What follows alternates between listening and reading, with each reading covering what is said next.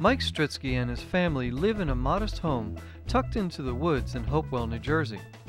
In late 2006, Mike officially disconnected his home from the electrical power grid and has been making history and his own electrical energy ever since. Mike, an energetic man, has a passion to find a solution for our future energy needs. All my power is derived from solar energy.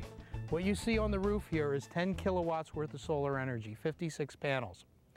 During the summer months, which is this time of year, they produce 160% more energy than I need. Well, most regular solar systems would backfeed that energy back into the grid. I take the excess solar energy, run it through a device called an electrolyzer, which splits water into its base elements, which is hydrogen and oxygen. It takes the uh, hydrogen and places it into my 10 1,000 gallon propane tanks, and it blows the oxygen off into the atmosphere. What you see in front of you is 10 1,000 gallon propane tanks, but they're not filled with propane, they're filled with hydrogen gas. The energy that's stored in these tanks, even though there's a very large field, only consists of 56 gallons worth of propane equivalent or 40 gallons of gasoline. So it's not a lot of energy.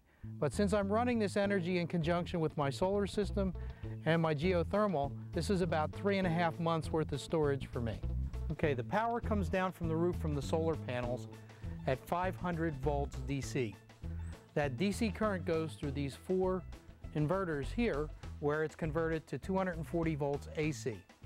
From here, the energy goes into these two inverters here which pull energy from the batteries and provide power for the house.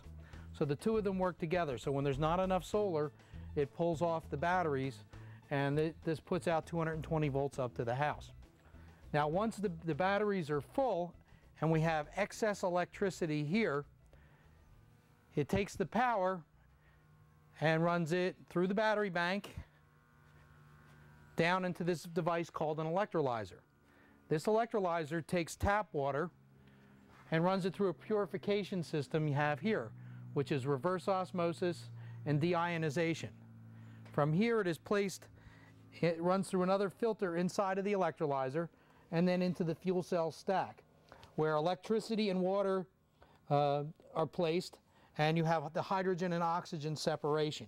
So you're looking at the hydrogen going out to the tanks you saw outside at 200 pounds and the oxygen being blown off into the atmosphere where it's harmless and actually beneficial to the environment. This is the hydrogen fuel cell. This, this fuel cell is a 6 kilowatt plug power fuel cell that's used in the telecom industry to power cell phone uh, sites. This is about three times bigger than I need for my house. My house would actually need a two kilowatt fuel cell, but this was the only UL certified fuel cell I could find at the time to put into my house where the Department of Community Affairs would approve the building permits for. This fuel cell only runs during the winter months and it uses the stored hydrogen that you have in the tanks behind me to make electricity, water, and heat. The heat is used to heat the garage. The water from the fuel cell is used to go back and make more hydrogen during the summer months. And the electricity is used to power my house. Well, now that you've seen the energy system, let me tell you a little bit about my house. Uh, the house was built 15 years ago as an energy efficient home. You're looking at a modular house uh, that was built with super insulation, R38 in the ceilings, uh, R19 in the walls, uh, Andersen windows with low E glass coating, state-of-the-art geothermal system, and obviously all the, the, the, lighting and appliances that make an energy efficient home. Also, plus a couple of the uh, traditional luxury energy hog items such as a hot tub, a big screen TV, and a swimming pool. The geothermal heat and air conditioning system in this house is extremely efficient.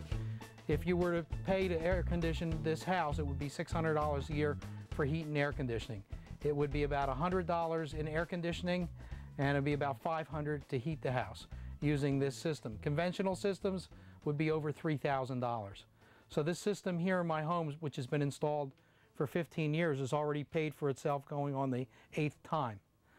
Uh, the way the system works is simple. I have um, a mile of thick wall copper tube buried in the front yard. I circulate the refrigerant R22 through that coil. I extract the 56 degree ground temperature. I run it through a compressor. The compressor makes it cold, runs it through the air handler, and cools the house. The heat that's picked up in the house during this cycle is not wasted. It runs through a double wall heat exchanger here and is put into my storage tank which heats my hot tub and my domestic hot water. Then it goes back to the field after I've extracted all the heat out of it. So you're looking at a system that when the air conditioning runs, I get free hot water to boot. This is the main electrical panel for the house. All of the power that powers this home comes from the system you saw down in the garage via an underground cable. I do have a grid connection here that I can turn on at the flip of a switch, but there's no need to. Uh, my solar hydrogen system has three fail safes in it. It has the solar, it has the battery bank, and it has the hydrogen fuel cell. So the grid is the fourth backup, and I have to have three failures in order to need the fourth. Um, the only reason I would come in here is for maintenance on the system to switch over to the grid or to sell power back if I've got too much excess energy. As you can see, I have all the amenities, including the big screen TV. No home should be without one. Mike has proven that it's possible to power your home from the sun. This project is a working prototype and was quite expensive to build. With a grant from the public utility and donations from manufacturers, it all came together.